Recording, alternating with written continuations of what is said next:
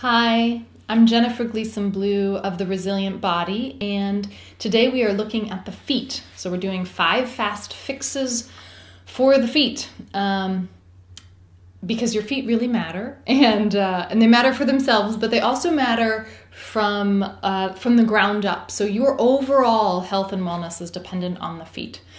So, the first of our five fixes is going to be to align the feet to get them in the right place. And so I'm gonna I'm gonna bring the screen down a bit.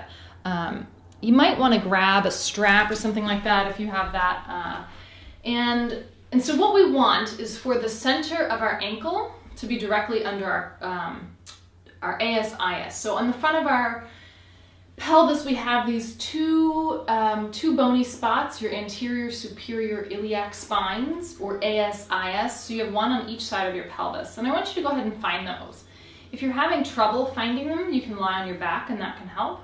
So the distance between these two points should be equidistant to the distance between your, uh, your ankles. So you can measure this in a couple of ways. One is to get a strap or a string or something like that, a cord, get a finger on either side, right? And, and measure the distance between your ASIS. And then to drop that down and see that it matches up to the distance right between your heels. So that's one way you can do that. Or you could drop a straight line, a plumb line from uh, from your ASIS, hold it there. Uh, the strap's a little too wide, but something else would work where you could get that uh, to see that it falls right over top of your ankle. So once you have your feet pelvis width, um, you're going to want to straighten the outside edges of your feet. Uh, most of the time we stand in some version of this or, you know, it all varies. So wherever you are, once you've got your, your ankles pelvis width, you're going to keep your heels planted and I want you to walk your feet in until the outside edges are parallel. So you can see this if you're using a mat and it has lines on it. You can use that if you have hardwood, even this rug I'm using. Or you can put a dome or a block, something like that, on either side. You know, you would want two so that you could see, okay, the line of the dome or the line of the block, those are parallel. And then I know that the outside edges of my feet are parallel. So everything that we, we're gonna do, we're gonna pay attention to this stance and I want you to to be mindful of even walking this way. So that's gonna be something you can implement. So the first stretch we're gonna do is we're gonna use this dome. If you don't have a dome, you can use a mat uh, rolled up or a towel. I want you to bring your right foot up onto the dome. So, uh, so we're just doing a simple calf stretch here. And, and this is our first exercise. Now you can certainly come all the way forward, um, but but my guess is that your calves are short enough that that you're going to want to your non-stretching leg is going to be a bit behind your stretching leg. So you may I have really short calves, so you, your feet may be equal. Maybe you've got one in front, maybe it's a little bit behind. Depends on how dense what you're using is and how high it is. But I want you to be mindful of a couple of things. Your feet are pelvis width, the outside edges are parallel. You have weight in the heel of your stretching foot. So when you come so far forward, if you're you're doing this and your your heel's coming off the ground, then you're certainly not doing it right. And I also don't want your body to be leaning forward. So we tend to fall when we walk and not really use our muscles to their full metabolic capacity. And one way to begin to retrain the body is to stretch it in the way we want to use it. So in this case, we want to be upright. We want to walk in an upright fashion. So we want to stretch the calves in an upright fashion as well. All right, so now I want you to, to just add a slight bend into that stretching knee. So this is this is a different calf muscle called your soleus that we're getting to now. And when we add the bend, then we're able to get to that muscle. Notice if you're gripping around your ankle, see if you can relax.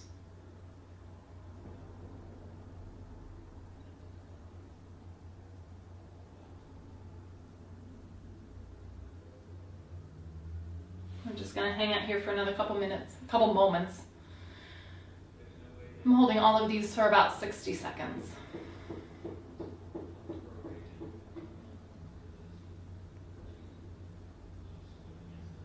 All right, so then you're gonna switch sides, bringing your left foot up onto the dome. I'll face forward so you can see what that looks like as well. Um, all right, so left foot up, your heel is firmly planted. For me, that means that the ball of my foot is about on the apex of the dome. I'm making sure my, my feet are pelvis width and the outside edges are parallel, so my feet are straight. And we're gonna hang out here for a bit. So if you do this in a mirror, you'll, you'll be able to notice a few things. So one of the things that I notice when I do this in a mirror, in this case in the camera, is that I lean, right? I lean toward my non-stretching foot. And that's gonna take some of the work out. So then I can begin to, how can I even my body out, spread the weight between my legs.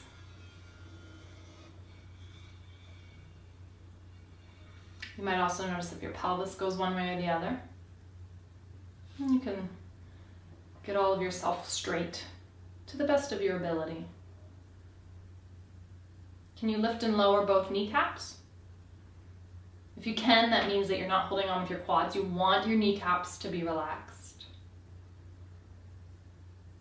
And are you falling forward or can you, can you back up with your non-stretching leg until you're really upright and you're not needing to use a lot of muscle to keep yourself where you are? Kind of a relaxed place. And I want you to throw that bend into your knee again. I'll turn sideways. This tends to be my tighter side. So I don't typically bend as far on this side as I do on my, my right leg. All right. So just letting, letting yourself be in this place. Not, not, not choosing to be somewhere that you need, that takes, that is effortful, but choosing to find uh, a more restful place at the, at the boundary of your range of motion so that you have some stability even as you stretch the soleus muscle here.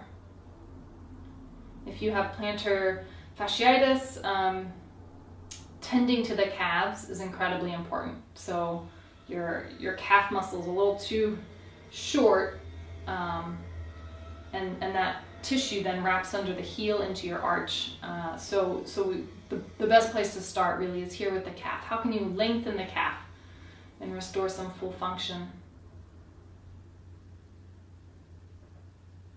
Is there any place you can relax?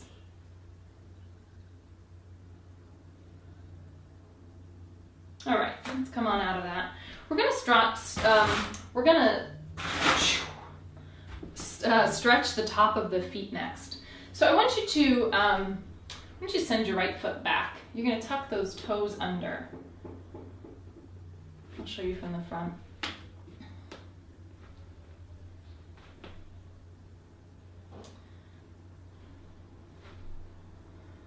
So again, my feet are, are pelvis width apart. The outside edges are, the outside edge of the standing leg is straight um, I mean the foot is straight. And I'm also being mindful of where the heel is. So it, you can sort of see how the heel might track in. It can sometimes fall out. If you're in front of a mirror, or in my case a camera, I want you to be mindful of keeping the heel hidden for now. And if that means that you need to adjust where you're, you know, how deeply you're going into that stretch, then that's fine. You know, you just find a good spot for you.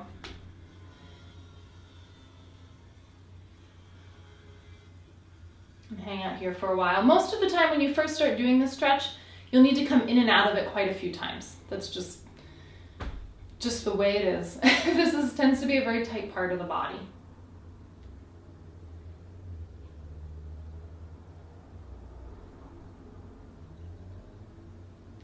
All right, so why don't you go ahead and send that left foot back. Adjusting in order to have pelvis width it's a little deceiving in the camera. Um, can you lift and lower the, the kneecap of your standing leg?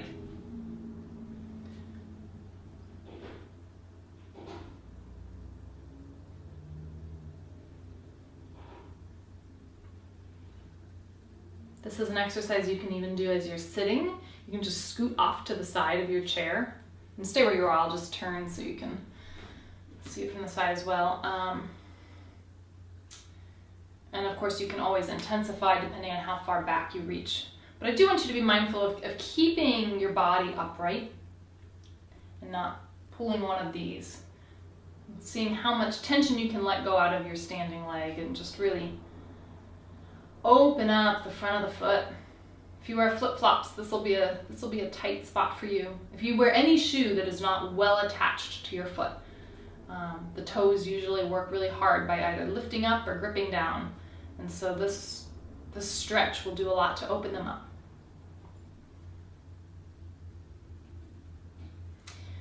All right, when you come out of that, I'm gonna move my camera down um, for our next two, our last two. Um, and you're gonna want a ball. Um, most of us have a tennis ball or something, so you can, if you have that, you can use that. Because I have really short calves, um, no matter how much I've worked on them, uh, the length is still difficult for me to accommodate a full tennis ball. Uh, so I do find that a, a, smaller ball for me works. This is actually a cat toy that's really, really dense. Um, so where whatever you want to do, you can do. And we're to divide the foot up. We're going to do an arch stimulation. And so I'm going to have you, uh, let's see, let's make sure that's straight. Well, tilt down a bit here. Okay, so you're gonna divide your foot into four spots um, in the arch. So you're not gonna you're not gonna put the, the ball up here, or and your heel's gonna stay firmly planted. So just divide into four quadrants on your foot, and we're gonna work all of those. We're gonna start with uh, the right side. So you're gonna get your ball, and uh, I'm gonna have you just choose that first spot. And you're gonna let your foot drape over it.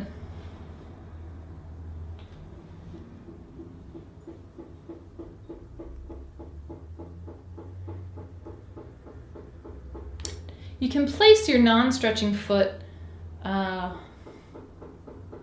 wherever makes sense. So if you have a, a tennis ball, you're probably going to want to keep your non-stretching foot further back just for a little bit more balance.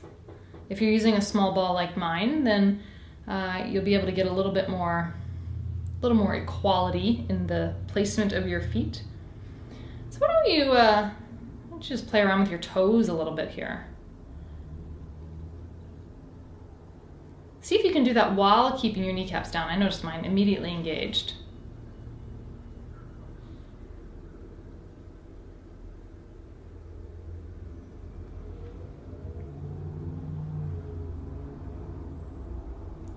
All right, why don't you move on to your second spot?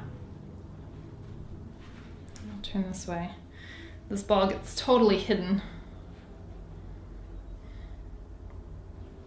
And again, you can play around with your toes.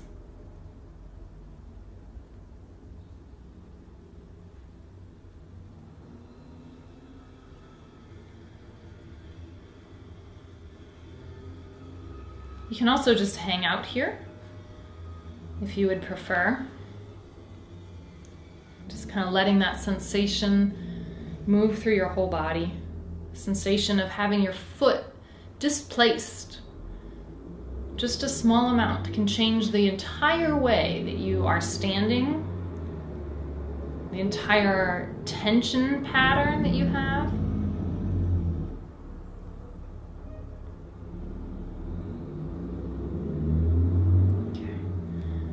move on to this third spot. So I'm going to turn to yeah, the side here. So my heel is still able to be firmly planted. Now if I had a tennis ball, my foot would be, uh, I wouldn't be able to, to stretch this close to my heel or work this close to my heel.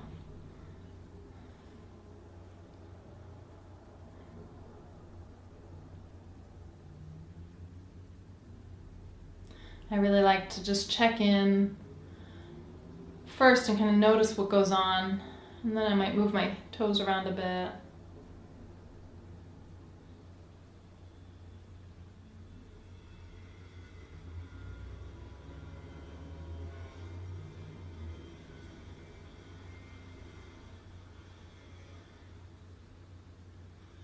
Now let's move on to that fourth spot.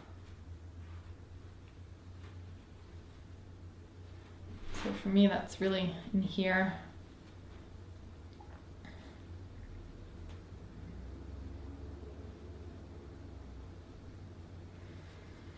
Usually we divide the foot up into nine distinct areas, the arch itself into nine distinct areas.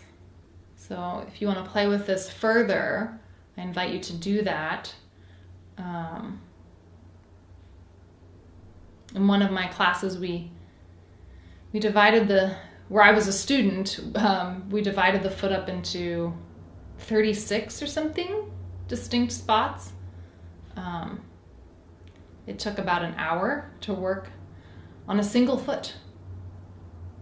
No, it took about an hour to work on both feet. Yeah, yeah, yeah. It was very intense. But the the sort of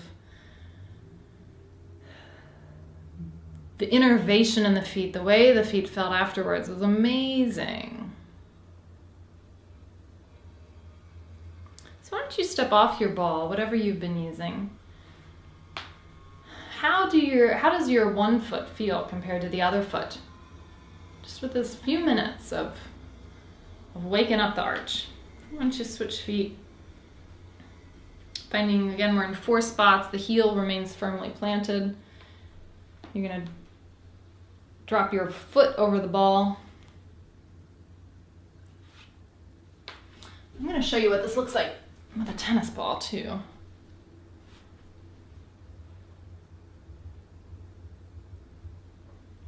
I'm going to go back to my other one. Um,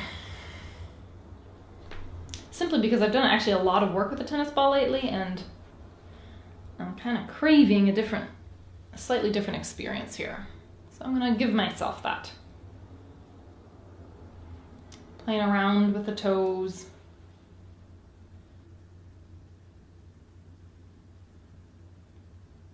Can you lift and lower your kneecaps and let them be relaxed?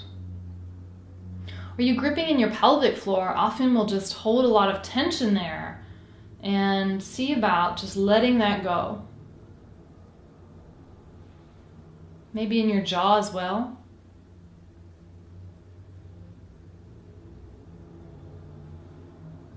Moving on to your second spot.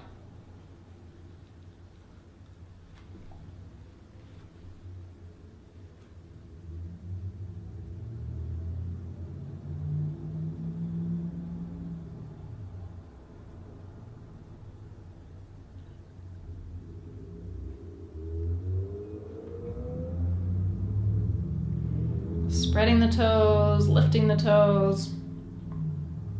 Maybe trying to lift just your third or your second or your fourth toe.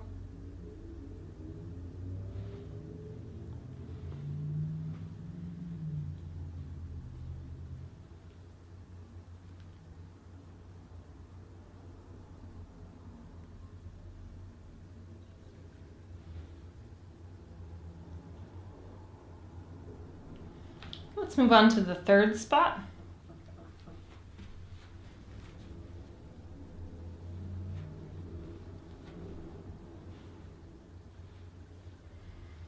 One of the things that I've noticed, I have a three year old son, and he uh, has been barefoot. Uh, we live in a, uh, you know, a climate with winters, and he is, and feel free to start moving your toes whenever it feels good. Um, he's been barefoot most of the summer and you know at the playground and outside and even on the cement. We live in the city. Um, and the change in his toes from the winter into the summer as that has happened has been remarkable. His toes have spread wider. Uh, he has a lot more dexterity in his foot. And it's been really interesting for me to watch how he can he can sort of step on something and his foot will accommodate that. And it doesn't you know something uncomfortable and it doesn't throw his whole body off because he's got mobility in his feet. Um, mobility that I am just beginning to regain.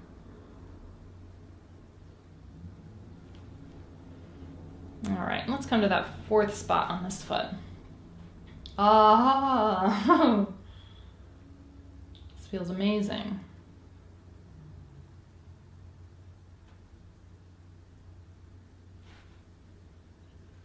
Especially um, if you are thinking about switching to more minimal shoes, or if you um, you're looking to make those more doable for you. Uh, I highly recommend you do footwork regularly. Uh, even if you know maybe you you wear a totally flat shoe, but you you want something more like a Vibram five finger shoe, something like that, then um, then doing the doing this kind of work is going to make that a much smoother transition and much less likely to get injured, which is really important. All right, so why don't you step off now. The last thing we're gonna do, this is our fifth, so we aligned our feet, we did a calf stretch, with the addition of a soleus stretch, we did a top of the foot stretch, and we did this arch stimulation with the ball. And now we're gonna lift our toes a bit. Um, so you're gonna get your feet pelvis width, outside edges straight, and I want you to just plant your big toe and lift your other four toes. You might notice that your fingers get moving as we work on this, that's cool. So you're gonna leave that big toe planted. And I want you to just touch your fifth toe to the ground, fifth toe up. Now, your toes may not like move separately at all, and that's cool. Some of mine move together, but keep sending the signal. Fifth toe down, fourth toe down, fourth toe up, fifth toe up, fifth toe down, fourth toe down, third toe down, third toe up, fourth toe up, fifth toe up. Can you wiggle your kneecaps? Fifth toe down, fourth toe down, third toe down, second toe down, second toe up, third toe up. Can you wiggle your kneecaps? Fourth toe up, fifth toe up, all the toes down. See about in this position, thinking about drawing your big toes toward each other as you then just lift the big toes. So for me, they still really go off to the outside edges, but I'm thinking about it. Doesn't help this carpet moves. Let me, here we go. Let's try again. Yeah. And then you can certainly practice lifting in, in sort of this order too if you want. Well, that is it. Those are your those are your five fast fixes for the feet. They will go a long way, um, especially if practiced regularly, and I encourage you to do so. I encourage you to look for footwear that would support um, support this change to whole body health because what what happens at the feet is in essence what's happening the whole way up. Thank you for joining me. I'm Jennifer Gleeson Blue with the Resilient Body, and I'm so glad to uh, have supported you to have healthier feet. Take care.